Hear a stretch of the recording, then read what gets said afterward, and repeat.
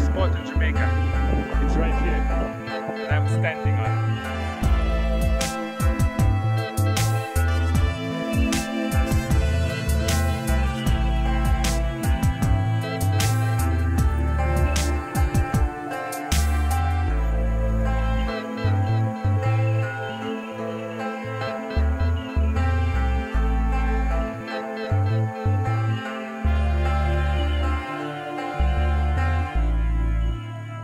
thank you